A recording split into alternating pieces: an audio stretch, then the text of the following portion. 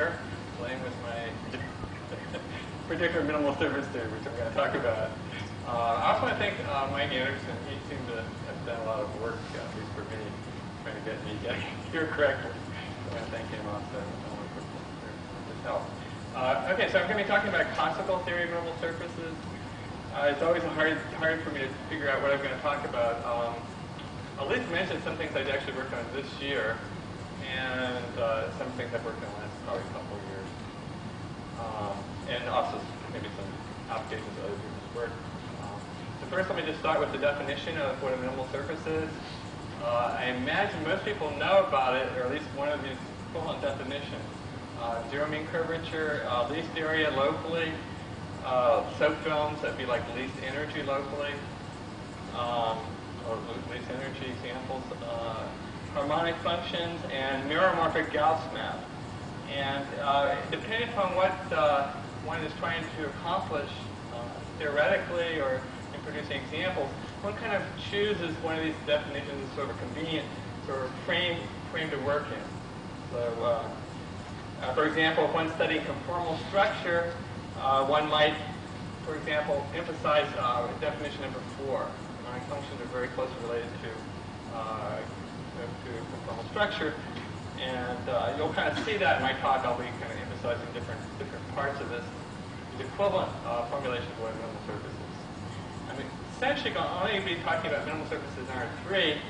Uh, I'll mention a couple related results that just give insight into the examples that uh, examples in theory in R, R, R3. Uh, but the emphasis will be R3. So let me just try, try to draw a picture of what we mean by meromorphic Gauss map. Um, so we have a, a, minimal disk in free space. It's parameterized conformally by disk in the plane. When you do that, the conformal, the coordinate functions are, harmonic functions. And one has the Gauss map, uh, the unit normal map, the two-sphere stereographic projection. And it turns out that combination ends up mapping the disk into the extended complex plane. That's a conformal map. So in that sense, it's, it's uh, a meromorphic function. It's a local representation global Riemann surface, and uh, the uh, Gauss map would be a meromorphic function of that Riemann surface. So uh, let me just try to give you an indication of what things I'm going to try to touch on. Um, these are kind of sort of general, general things that people look at in the subject. So the first one is, uh, I, I, I was always sort of a topologist at heart, and one of my first interests in the subject was to try to understand what are topological obstructions. In other words, if you're given a surface, uh, will appear as a properly embedded minimal surface in R3. And uh, for many years, there were essentially no obstructions. Obviously, it can't be orientable, it can't be compact, but except for that, those possibilities, we really didn't know much at all. And uh, part of the goal in trying to understand number one is really to understand geometry.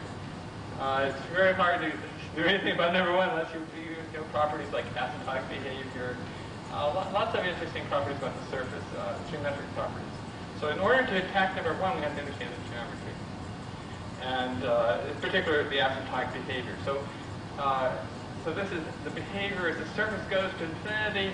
Uh, what, what is it? Uh, does, it converge to something?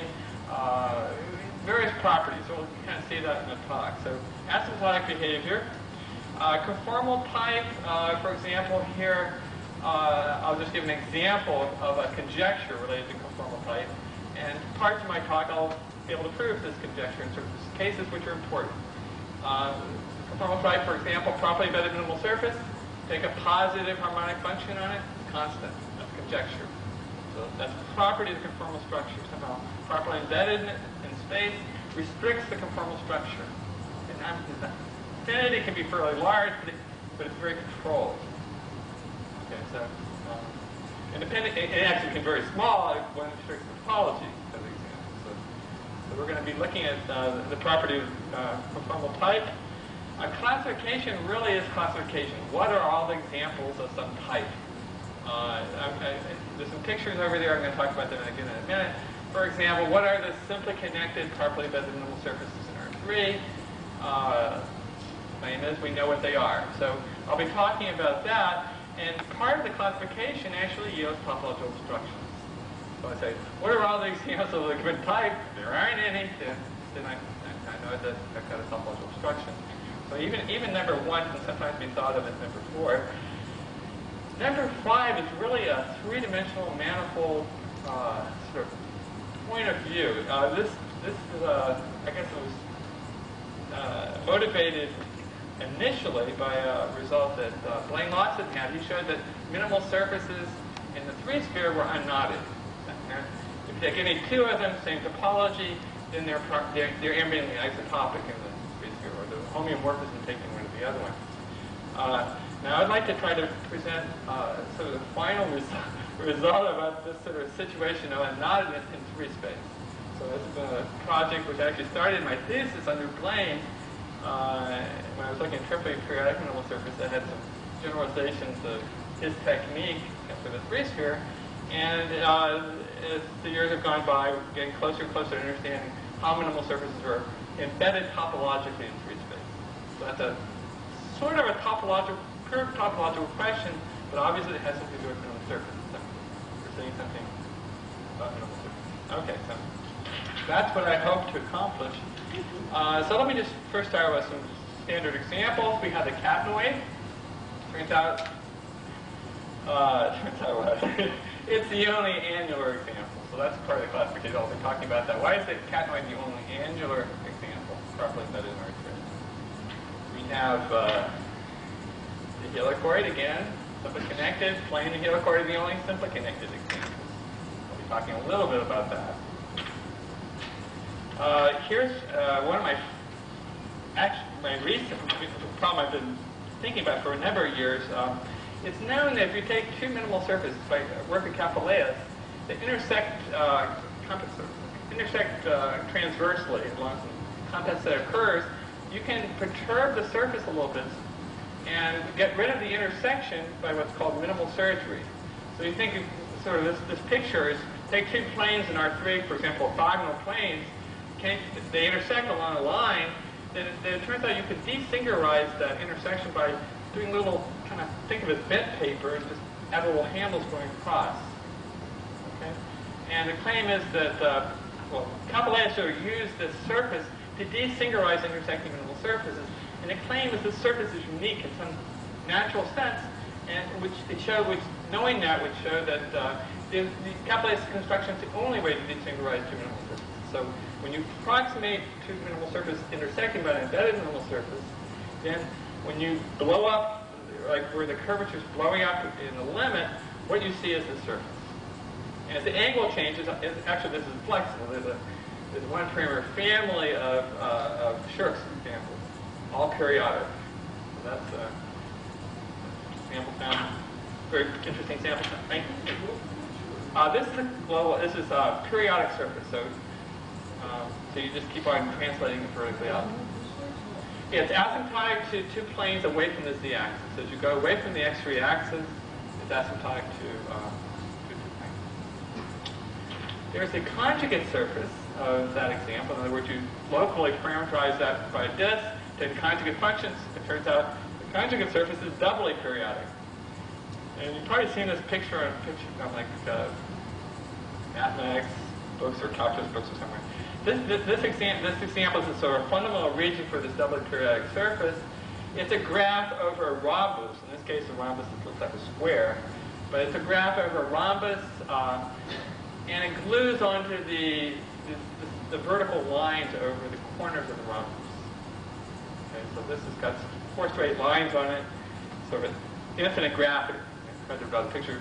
So asymptotic to vertical annuli, vertical strips. Uh, anyway, uh, if you take that example, you can extend it by rotating around the straight line boundaries. One gets a periodic surface.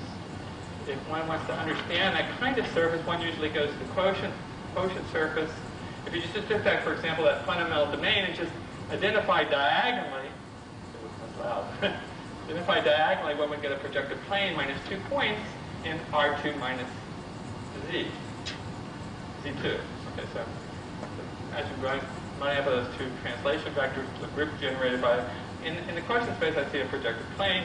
It's more usual to think of it as uh, a slightly bigger lattice and you usually, usually consider to be a two-sphere with four ends.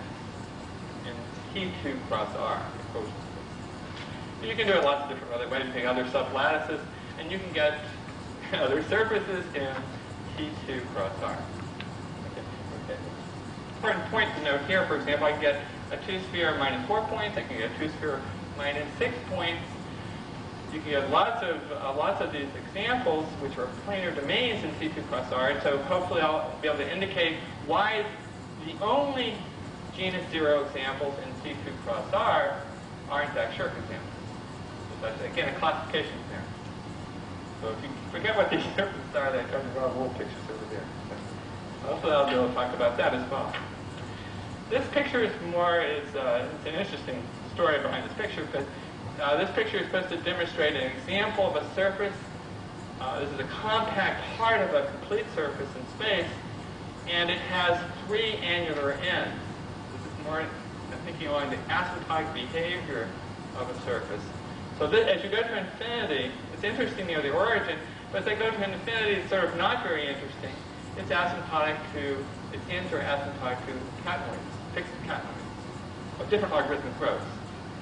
It's not just one catenoid. You can take a catenoid, you can almost actually shrink it. So there's sort of a, like this catenoid end down here is, is, is uh, reasonable. This is probably very flat. This one's a little bit less than the bottom one. Anyway, one has these ends of the surface, and they're asymptotic to particular surfaces that are well known catenoids.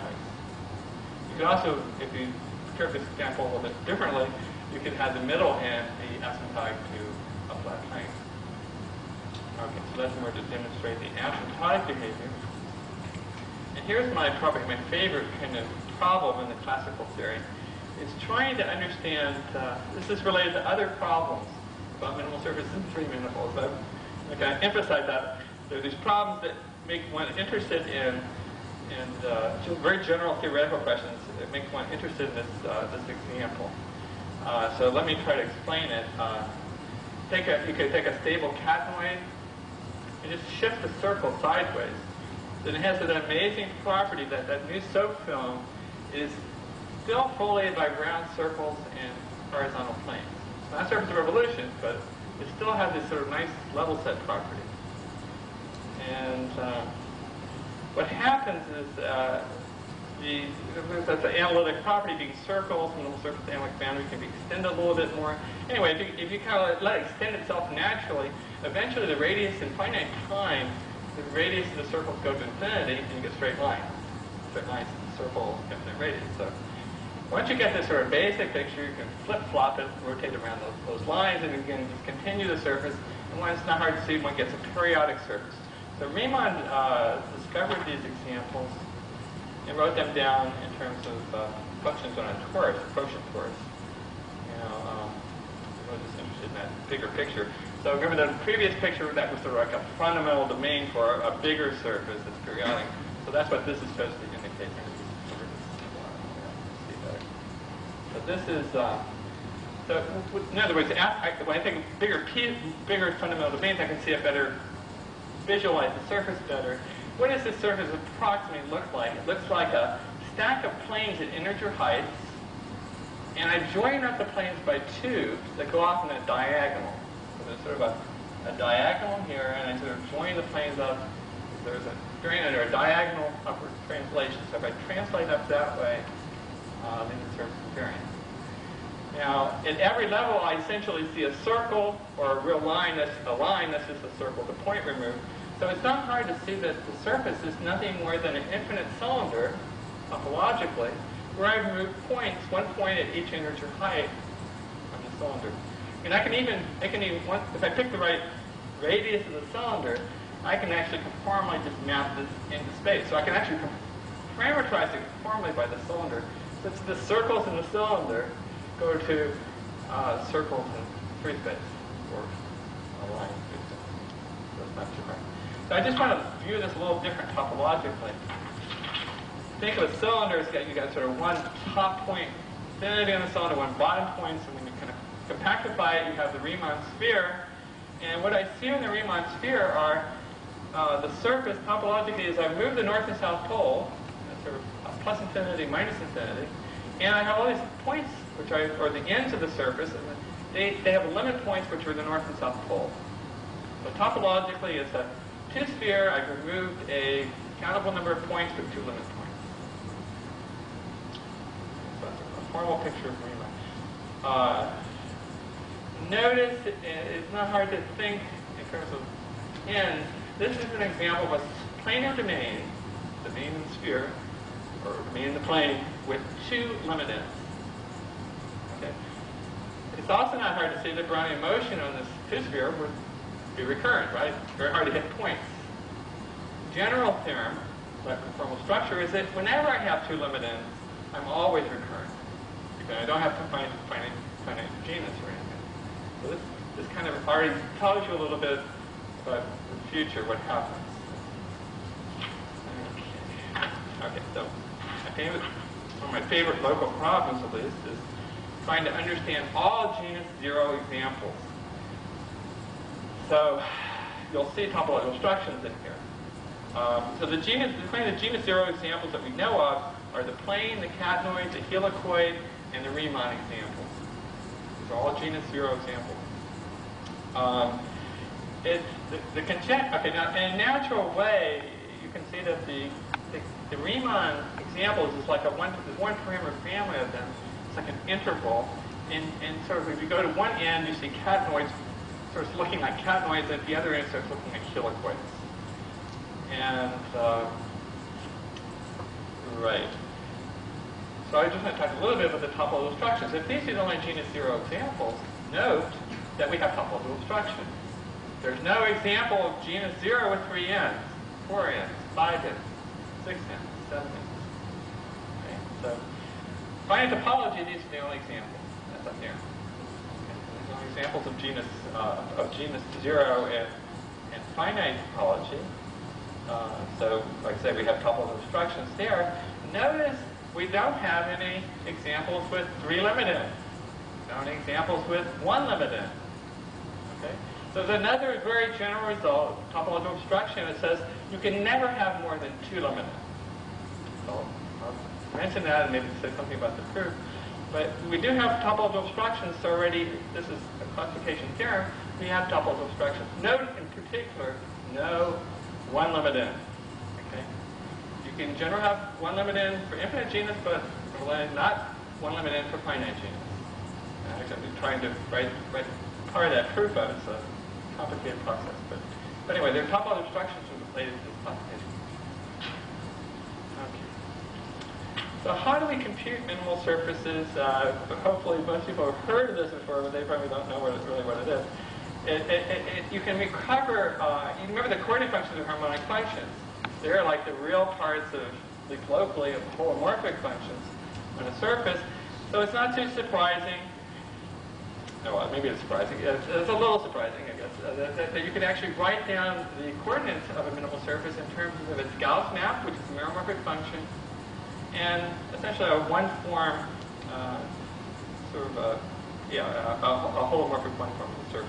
So there's this formula called the wire Weierstrass representation for computing minimal surface in terms of a meromorphic function, which is Gauss map, and some other holomorphic form, and then taking real parts.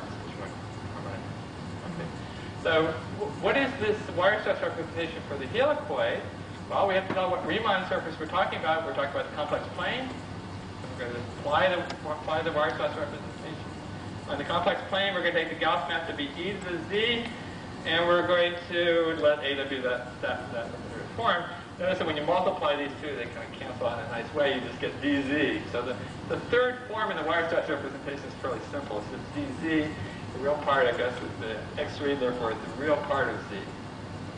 Okay, so we got sort of a nice, nice picture from the Weierstrass representation. And so the first theorem here, says the helicoid and the plane are the only simply connected examples that are properly embedded. And uh, of course, to do this, we just have to see it after rotation. The surface is C, the Gauss map is e to the z, and this form, this other interesting form, you want, uh, the complexification of dx3 is dz.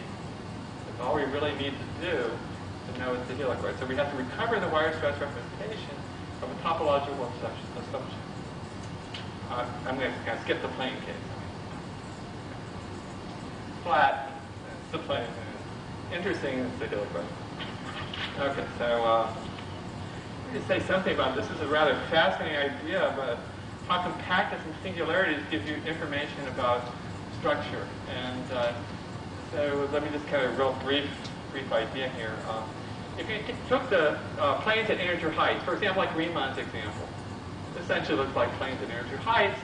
Now, if you start homothetically shrinking it, what does that look like? This looks like a denser set of, of planes, uh, integer heights now, but small spacing. And natural way, the limit, limit object would be a foliation of R3 by horizontal planes. So a natural way be sort of take uh, planes at integer heights and just sort of divide by 1 over n, just homothetically shrink them, the, those, those, that set in space, then we convert to foliation of uh, R3 by horizontal planes. The helicoid, is, is, in a lots of ways, looks like a family of planes. If, if you go away from the z-axis, it just looks like a, a very flat multigraph. It just kind of looks like planes stacked up at integer heights, or 2 pi heights, I depends on how you of it. Basically, planes at sort of equal spacing heights. It's only when you go a big distance around you see that it uh, wasn't actually a flat plane, and now one entire, the, the, the revolution around the axis, got a little bit higher. So, so when you the helicoid, you also see get the same thing.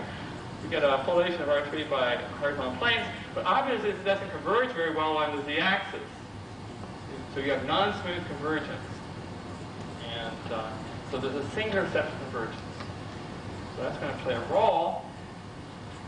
So uh, let me just state a theorem here this work depends on. It's a result of Colding and Cozy, where they try to understand compactness theorems for minimal surfaces when you don't have area estimates. Like in our previous picture, you take the helicoid, homothetically shrink it, the area is going to infinity all over the place. And yet we had a nice limit. Where it didn't converge smoothly was a, one curve which intersected each each plane in one point. So that this is sort of a, sort of a, uh, I guess it was the motivation for their result. The helicoid shrinking, you can see the sort of picture, and they wanted to claim that somehow that was what you always got. So uh, they take a sequence of minimal disks. It's a local question. You can talk about this for surfaces in a three-manifold, such as little balls, intersects little balls and little disks. So we think it's just a, it's a local question, has a nice application. So you have a sequence of, of disks, embedded minimal disks, in the unit ball, and you suppose the curvature in the sequence blows up at the origin. They all go through the origin, and the curvature is blowing up. So obviously things aren't going to converge very smoothly, but the theorem says that, in fact, there's a nice limit that's a foliation of the ball by, by disks, by minimal disks. The convergence is not smooth along a curve, which is Lipschitz curve, sort of makes a relative to the, the foliation, it's sort of it's tangent backwards and finals everywhere. It's kind of making a reasonable angle with the with the uh, with the leaves. Okay, so um, so that's the that's this picture they have, and then I say the, the, the singular set intersects each of the disks in one point. Okay, so uh, it turns out one really wants to get better information about the singular set my main interest in getting more information about the singular set is it has nice applications to topological obstructions. It turns out, it turns out, at least I, I believe it turns out, that if one can prove that the geodesic, the singular, not just kind of curve, but it's actually a geodesic. In R3, that means it's a straight line.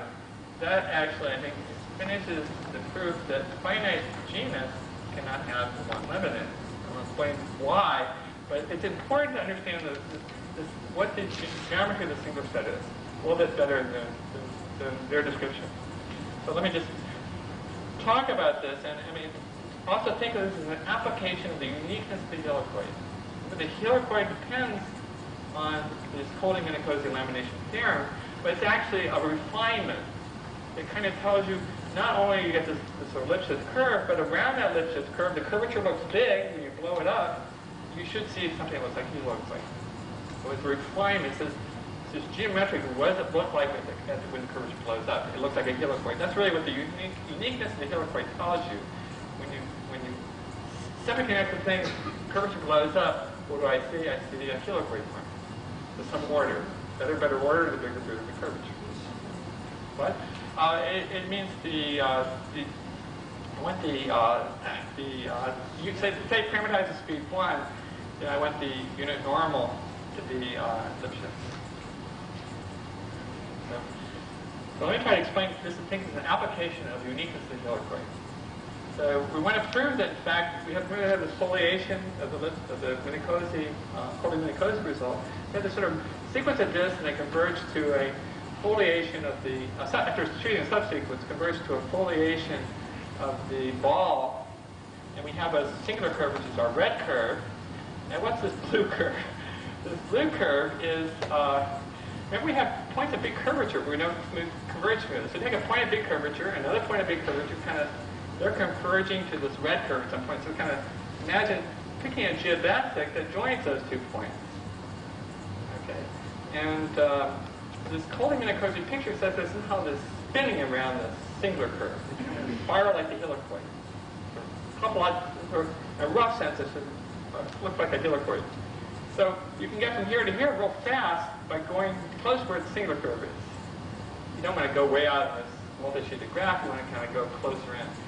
So that's my geodesic pointing two points of large curvature.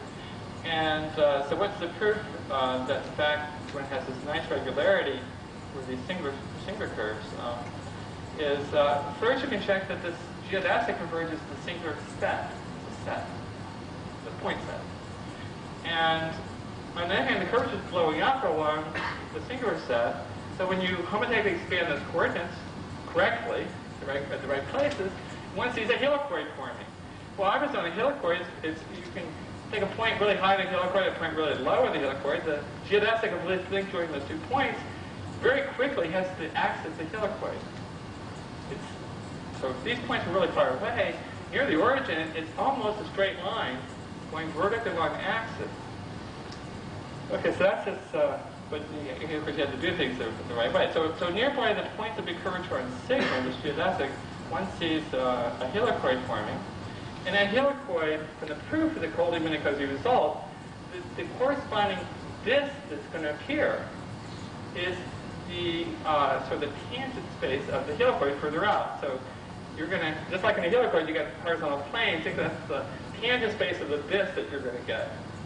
So, so this so the geodesic is like orthogonal to the corresponding plane at these points. And then there's a little bit of a delicate argument. You have to blow up you have to blow up at a certain rate of, and kind of compare the, the tangent vector to the to this geodesic to uh, the unit normal vector field of foliation. And if you know that that angle goes to zero, okay, and you know that the, the minimal foliation is, is uh, always, uh, well, it's re actually reasonable nice. There's some regularity in normal foliation uh, for example, unit normal vector field of foliation is Lipschitz. And uh, so, so anyway, so you have you have the, the tangent vector of sigma is making a small angle with this Lipschitz vector field. And uh, the angle goes to zero, it's not hard to see that if the, um, the curve goes to an integral curve of the, the vector field. And, but it also goes to the singular set. So the singular set is a uh, integral curve. I tried real hard, actually yesterday I tried it again, trying to prove it's a geodesic, it's, it's still, still not succeeding. but anyway, I'd like to prove that the singular curve is actually geodesic. Okay, so, let me just say something about the proof. I, I did talk about this in Boston uh, recently. I'm, I'm not going to say too much about it because I want to touch on some other subjects I didn't get to talk about last time. Okay, so uh, just, just a brief idea step one, uh, maybe I'll phrase the right conjecture. Suppose you have a minimal lamination of R3. That's like a minimal foliation where you remove some stuff. Close set of minimal leaves. And uh, the claim is the only ones we know are where we take a closed set of parallel planes. That's the only foliations that we know, or only minimal laminations we know. This first general structure theorem is almost proves that, but it isn't, it's not sure it's actually proving it. It, it gives you lots of structure, and I'm not going to say too much about it, but it gives you lots of structure about minimal lamination. It doesn't prove what you want to prove, but it's a, it's a very nice kind of general, general result, which turns out to be useful in this, in this, proof of the uniqueness of the helicoid. Um, so uh, then uh, step two is to show that the uh, well, maybe to remind you, the helicoid, if you look at the helicoid, it, if you go out horizontally, it's very flat. On the other hand, the, uh, it's never tangent. Tangent space is never horizontal. So it limits to be horizontal if you go to infinity, but it's never actually horizontal. That means the gradient of x3 is never zero. So um, this is uh, step two you can think of as an application of the um, Colding-Minicozzi result. One uses that to show that the, uh, the gradient here is never zero. So it's appearing of a foliation. It's a little bit of Morse theory, critical points, uh, kind of comparing things. Uh, uh, the, this, probably the more subtle, most subtle step is trying to understand what we call asymptotic curves of the gradient. Those are uh, integral curves of the, of the, flow of the gradient vector field, which which don't go out to plus infinity. They kind of head out some finite height. So notice on the helicoid there are no such curves. So one needs to prove, in order to understand the conformal structure, one needs to prove that, that there are no asymptotic curves. So it makes it look more like the helicoid. Once one has there's a little bit, a little lemma, which shows that if one takes, once you get that's not zero, a little bit of lemma, and another result I'm going to talk about later, um, shows that we can actually take x3 plus i x3 star, that maps you holomorphically into a complex plane, that's actually a conformal diffeomorphism. So that gives us a conformal structure. And then step four is, uh, again, goes back to this sort of colding and cozy picture. And uh, we know the gradient of x3 is never zero. That means the tangent, that means the normal is never vertical. Right? That means that the Gauss map misses the north and south pole in the two sphere. Okay? That means that two spheres, when north and south pole is C star, the universal covering space of C star is C. So if, if you can think of it, where the where the projection, the covering map would be E. So you see the Gauss map is E to the f of C, where f of C is a holomorphic function on C. And then there's some analysis, like I say, you go back and look at the sort of picture. One can sort of first get some information about f of c, that it's a polynomial. And then by that same method, one in fact sees by a, a tricky formula calculates what the Gaussian curvature is. Uh, that in fact that polynomial is degree of one. Okay. So you see a, polynomial here, and then you see by the technique and sort of analyzing what the Gaussian curvature is of a, limit, that in fact that polynomial one, and then we have, then, we're really, we have to hit a. So that's the, the sketch of the proof. Consequences are probably more interesting for most of the people here. Um, this is actually, the, the, proof is quite, quite general, and what it tells you is the asymptotic behavior of all proper minimal annuli in three space. Think this is the end of a surface, like a compact boundary, you're mapping an annulus properly minimally in R3, what does it do? How does it behave? Well, it's either asymptotic to a plane, asymptotic to a cosmoid, or asymptotic to a helicoid. The end of a helicoid. Okay? And a little bit of thought about those particular things that asymptotic to, in fact, shows that the uh, if you take a properly embedded minimal surface with finite topology, so it's got annular ends, then the, it, when we went to define it analytic in terms of Weierstrass representation, you can actually do it in terms of mirror meromorphic. So the surface is going to be conformally a finitely punctured Riemann surface, and the, the Weierstrass representation can be can be described in terms of mirror meromorphic data on that compact Riemann surface. So we're in the realm of algebraic geometry. Not surprising, one maybe could classify all possible polynomial surfaces as finite topology. I mean, that would be a major. Uh, it's an interesting example to uh, look at this. Uh, example would be a torus with one point. This is an example from Hermann Karcher, Wei, and David Hoffman, and he's going to talk about it. This is an example. This is a one-punctured torus. And it's the vector helicoid application. Let me, let me show you how we get now get topological obstructions from that previous theorem I just described. Uh, this is a, these are some um, older results before we knew a lot about minimal surfaces. So when the subject started, when I got in the, the subject, people were interested in examples of called finite total curvature. They're very controlled minimal surfaces. Examples people could easily write down. And uh, so what do we know now? We know that if you have finite topology at least two ends, we have finite total curvature. So we think that as a consequence of a better understanding of the general problem. So now general means finite total curvature, at least in lots of cases. General, now we're in this very restricted, very restricted situation of, of uh, finite total curvature. This is finite total Gaussian curvature. So, so okay, this is, like I said, these are older results, so we, we didn't have so much information. So the first result is it has genus zero and has, uh, say, like I say, two ends. Then it's a planar catenoid. And if it has uh, two ends in plane topology, then in fact it's a catenoid. This handles, for example, torus minus two points. Can't do it. Okay. So let me describe these proofs. They're, they're really kind of clever little proofs. Let me say real briefly how one does how one does these the, the, the, idea behind it is certainly not very hard. Uh, this is the Lopez-Ros uh, deformation argument. Uh, when you, when, if you have genus zero, wonderful property is the homology, homology of the surface generated by the ends. Okay?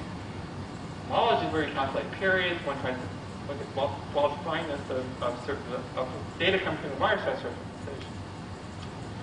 And in particular, since the ends are asymptotic planes and catenoids, it's not hard to see that the what's called the vertical, the flux is all vertical. So if you integrate the conormal around any end, it's actually a vertical vector.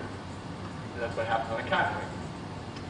So uh, when one has that, one can do this change of the Weierstrass representation and still get a well-defined surface. So you take one of these examples, start doing this deformation, say with three ends, try to show them for this being one, two, this example, I draw a picture, it's supposed to be like three ends, and you start deforming it, it's well-defined, you can deform it, I might consider, well, could this surface, well, it starts out certainly perturbed a little bit, probably going to be embedded, but maybe eventually you can say, well, maybe they could kind of touch itself at infinity. The answer is it can't somehow. There's a maximum principle in infinity. can't touch itself. It's always embedded, so that an openness property. Uh, limits of embedded things are uh, embedded, so it's a closed property. You can take this parameter all the way to infinity. But then you look at the asymptotics near a place where the where the where the tangent space where the, where the normal is vertical, or point, and one just sees the asymptotics as one gets Enneper surface, or some version of Enneper surface. I order Enneper surface, never embedded. The arms are not embedded. So then you contradict that the family is always embedded. So uh, uh, I should probably say that uh, Jorge and I had had, had, had, right at the beginning of the subject, we, we, we showed that 3, 4, and 5 ends are not possible. So this is a much more general, better proof. Okay. Uh, Rick Schoen's proof uh, uses Alexandrov's reflection principle. One understands that the top and bottom ends are asymptotic. One kind of writes that down. And one applies uh, sort of Alexandrov's reflection horizontal planes where it gets the symmetry in the middle. And then one I mean, so these canons are all kind of lined up really nicely, same axis. And then you take you take uh, vertical planes, reflect coming into an infinity, and one proves it has lots of vertical plane symmetry, and then a surface revolution, and it's a cut. One proves lots of symmetry, and therefore not higher genus. It's not a surface revolution. Okay, so that's the idea behind that. Okay, so let me tell you about one of my recent some recent problem I was working on, uh, that problem which I continue working on. Uh, when you have a minimal surface in R3, lots of examples, for example, Scherk's uh, example, which is like desingularized in two planes, have quadratic area growth. Uh, I mean, the area of walls grow like constant times uh, r squared. Um, so take such an example, it turns out if you do the blowdown of the surface or quantitatively shrink it, a subsequence will always converge to a cone. And uh, a cone over some set. I mean, like, like lines almost everywhere, like a cone in that sense. So um, this conjecture is the uniqueness of that cone. So if you take a different subsequence, or whenever you do the homothet, you always get, always get the same cone. I don't get a rotation version of the cone under some sequence of homotheties and different ones another time. So. So this is the uniqueness of that. So that, what this means is as you go to infinity, the surface starts approximating the cone very quickly. And uh, that's going to be that's going to be important when I, when I understand problem number, this other conjecture. I'm especially interested in this when I have the area growth of two planes. Remember, I want to try to understand how you do singularize two minimal surfaces intersecting. try to do this, the area growth is like two, two planes. So, um, all right, so, so anyway, so when k is 2 pi, the claim is, this is I'm really interested in. I didn't do that into this, but uh, anyway, the, um, the, the claim is that theta the catenoids of Scherk. Those are examples we know, and the claim that those are the only examples. Notice the catenoids when you get a plane with multiplicity 2.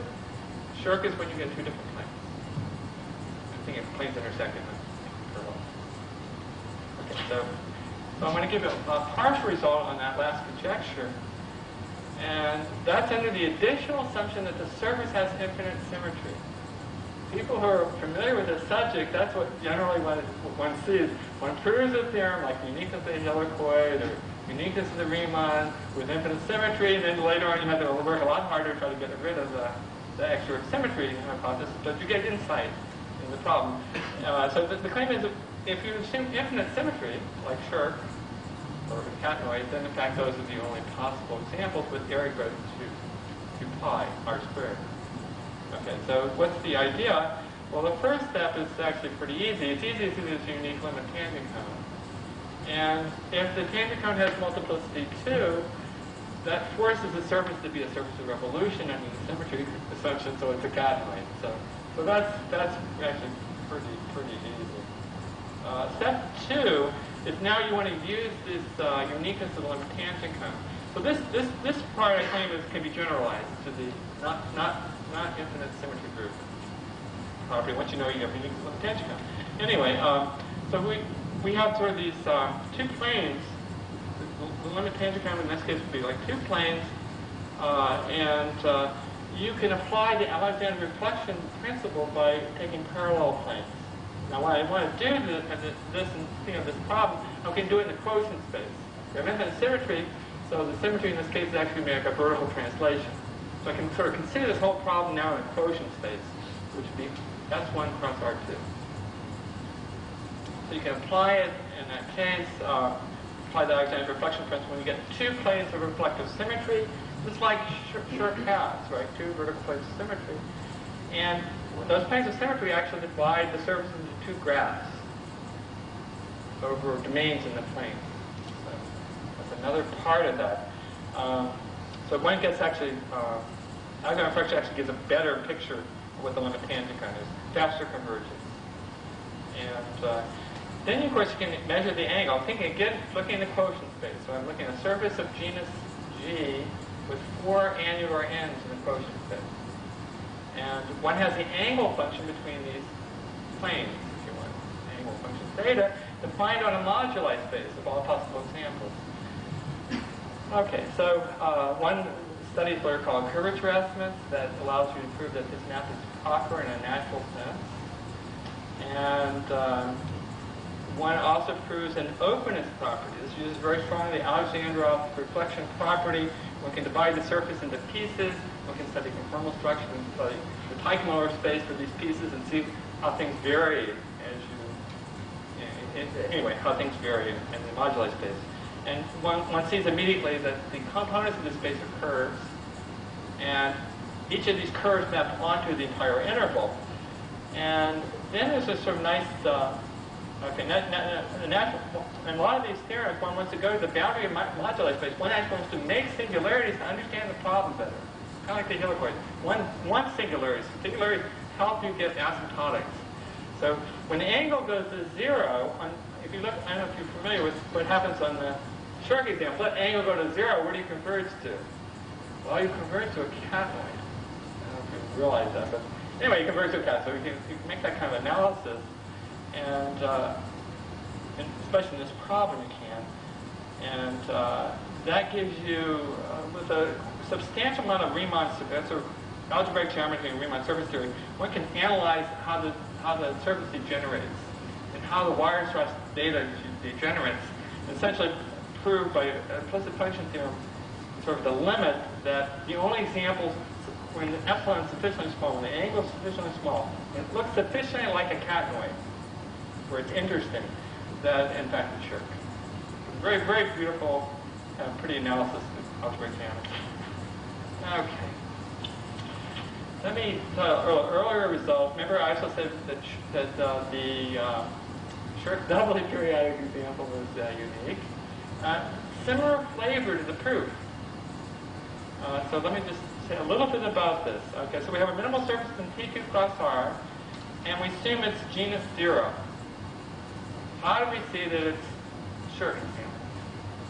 Okay, so um, the first thing is genus 0 could have infinite topology.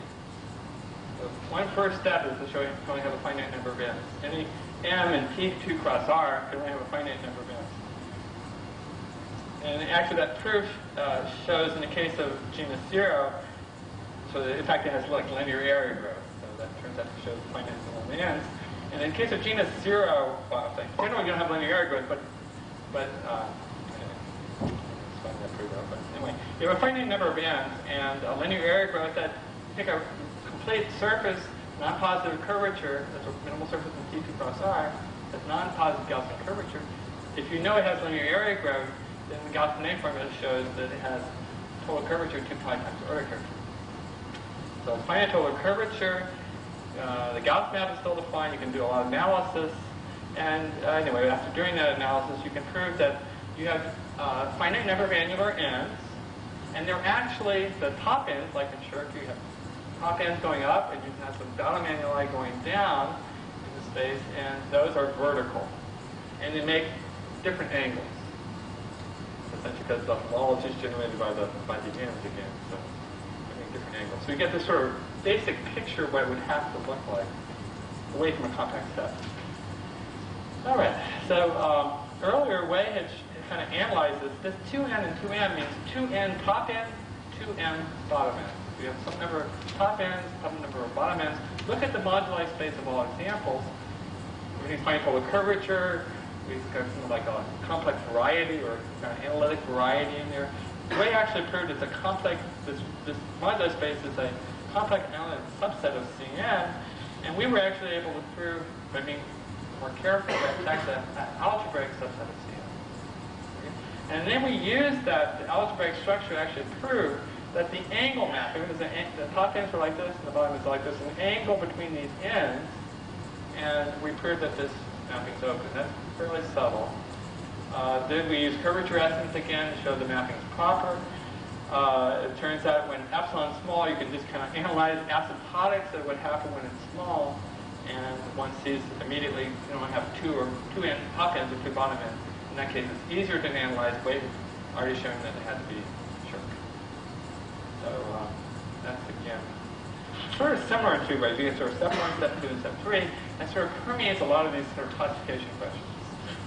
The natural approach, one proves uniqueness somewhere, one proves openness as a map, one proves uh, closedness as a map, or properties. So uh, I, I, I, I, really would like to maybe talk about this. This is like a whole talk. Let me just kind of say something about the last talk. I was talking about Scherk examples in T2 cross R. So I just want to kind of say what can we say about minimal surfaces in M cross R, where M is a compact Riemannian surface. And it turns out there's a very beautiful uh, series of, of results. They're very general. Um, and uh, so we have our sigma and M cross R. Uh, so one of the basic results, it has a finite number of n. So you can't have a lot of n uh, on the surface. Um, the second one is if you assume bounded curvature, then you have linear area growth. Remember, I mentioned that in a T2 cross R case. And if you knew linear area growth, then you would uh, you'd be able to calculate the total curvatures, finite, things like that. So we have finite number of ends, so finite genus, for example, in finite topology. Um, so then we'd like, for example, to also classify what the stable examples are. And one can actually classify what the stable examples are. This is probably the most subtle result. Uh, one can actually explicitly write down, in a natural sense, the kinds of stable examples one has. And then in case of finite topology, again, one has a very nice result. One has bounded curvature, linear area growth. Okay, we actually finite genus, one has linear area growth, and finite curvature you have a few couple of instructions in it. Right. Let me come back to maybe an easier thing. This is a real nice kind of result. Probably everybody in the subject should, should learn that's interested in minimal surfaces. So uh, this is just real easy. This is nothing deep. It wasn't really known before, but it's, it's very, very nice and easy. So I'm going to try to, how do you study conformal structure of minimal surfaces in R3? Uh, one way to do that is to look at certain functions that appear on the surfaces. So if one looks at this particular function, r is the uh, distance from the x-ray axis, and you just sort of write down this sort of this function. It turns out it has a, some very nice properties. Um, if you restrict it to any uh, minimal surface, it's superharmonic. It says something about the way fluxes go. Anyway, it, it, it's, it's useful for analyzing a number of different problems with minimal surfaces, in particular conformal structure. So, interesting to give you an example. Um, uh, right, and another important property of this function is that in a horizontal slab, it's proper. So if you have a minimal surface in R3 and you just intersect it with a horizontal slab, then I automatically have on it a proper superharmonic function, which is the restriction of this surface. So, um, okay, so then we have this little lemma, which is the consequence of having a proper superharmonic function, is that, that the if you take the intersection of the surface with a slab and it's properly immersed in space, then that surface uh, is parabolic, has full harmonic measure. All these follow from the existence of a proper superharmonic function. And, and there's a nice sort of application of this lemma, which is to understand how, if you, if you generalize from a slab to a half space, um, it's very easy to show that, uh, show that if you have this property of being uh, parabolic in a slab, or full harmonic measure in a slab, then you automatically have it in a half space. A, um, you can think of the third coordinate function as a, an exhaustion function by parabolic region. Whenever you have that on a, on a uh, manifold, the manifold is parabolic, you get measure. And this is just a description of how to go through that curve. It's just a little, very elementary. I think I'll skip that. So I'm going to talk something about topology of the surface. Anyway, this is an easy exercise. Okay, so uh, so I'm changing subject to uh, trying to understand how our minimal surface is embedded in three space. Goes back to the question I said. Uh, Blaine had shown that the minimal surfaces in the three sphere are standardly embedded. Minimal surfaces in the three sphere are finite topology. So this is a, a, a direct generalization out here. Minimal surfaces in finite topology in R3 are also unbounded. There's only one way to do it. That's what this term says. So uh, let's see what that way is. So here's the picture. Collection planes, join them up by unknotted little tubes, and put your all the interesting topology at the top in the standard way. That's, that's what the surface is. So that's the, the embedding of a surface-by topology. Okay, so now we've got to try to understand infinite topology. Uh, one, a whole bunch of examples, most of the classical examples were actually doubly periodic and triply periodic most examples that people knew about, even still know about, are, are of this type. Turns out they always have uh, infinite genus in one end. They're all homeomorphic, but it's more complicated because they have infinite genus. So I want to try to understand infinite genus of minimal surfaces in R3 with one end. See the next problem. To understand that, one needs to probably, probably the easiest way to understand that is to understand a little bit about topology. Uh, what is a Heegaard splitting? I think most people don't know what a Heegaard splitting of a non-compact three manifold is. Uh, so uh, to, to, understand that, you just have to know what a handle body is. I mean, it's non-compact handle body. A handle body is just a regular neighborhood of a properly embedded one complex in three space. Glue two of those three, two of those together, you make a Heegaard splitting. So suppose you have a so, uh, so one of our first theorem is that Heegaard splittings of R3 are determined by their genus. That means up, up to homeomorphism, or up to proper isotopy, ambient isotopy. The, the genus of the surface determines the embedding of the space. Uh, and, and, the other result is that minimal surfaces of one end are splitting. From a complementary result. So one knows that if you take Scherk's, uh, periodic surface, and Scherk's it also has one end infinite genus. But doubly periodic, we know it has one infinite genus. There's a homeomorphism of space taking one to the other. Basically take any two classical examples of homeomorphism are three takes one the other one. Okay, so now I, want to understand that just a little bit about the case where you have more than one end. Uh, if you have more than one end, it turns out you can put stable minimal surfaces with contact boundary in one of the complements. Minimal surfaces of, which are stable, uh, of curvature. Their ends are planes and catenoids. Uh, there's a notion of, of horizontalness or parallelness of the ends. And it turns out there, you can describe a sort of notion of a limit tangent plane to the, surface. It's sort of the tangent plane of these and planes in a complement. So anyway, associated the each minimal surface is a notion of horizontal. So that's a, a, a, sort of a plane. So rotated so it's horizontal. That's what we usually do. Uh, okay. And so every M has a unique one planes. That's a sort of first step. Another nice sort of general result is that, and I'll describe that in a second, uh, the, once one has this sort of notion of horizontal, then one has an ordering on the ends. All the ends can be sort of ordered by their relative heights over this plane sort of pick out. Okay?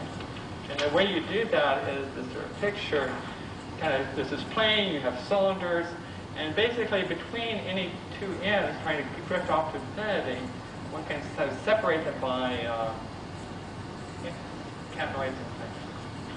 So I think uh, that's about it. Uh, yeah, anyway, I'll talk about things another day.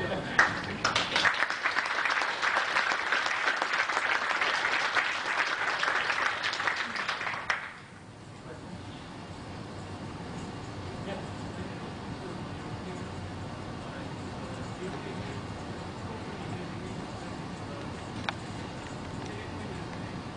Something connected. Right.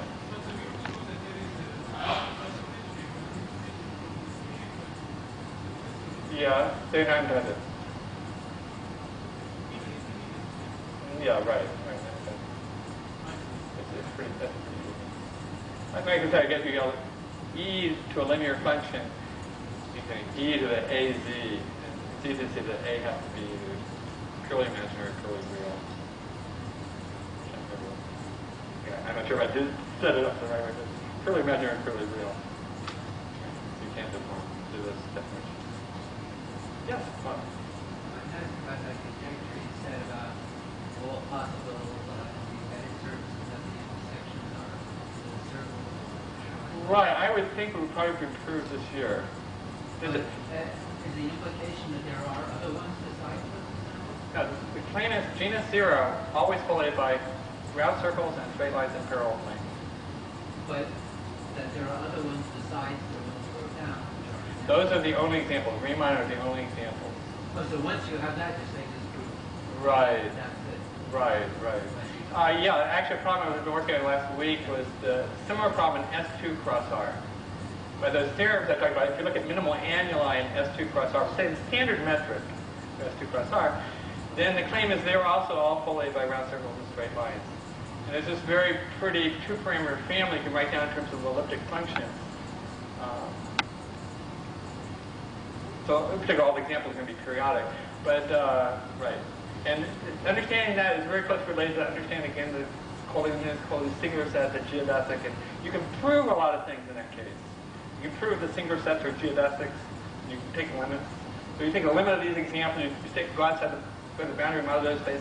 What do I see on S2 cross S, S2 cross R? Either I see a diagonal geodesic on S2 cross R, or I see two vertical, like a point vertical geodesics in S2 cross R, or they could actually come together. And that's the boundary of the moduli space.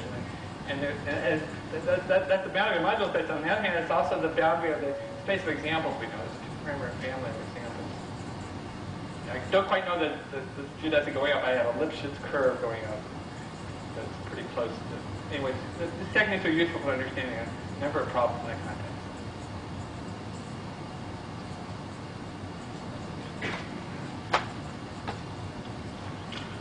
Um, What do you know these days about properly embedded ball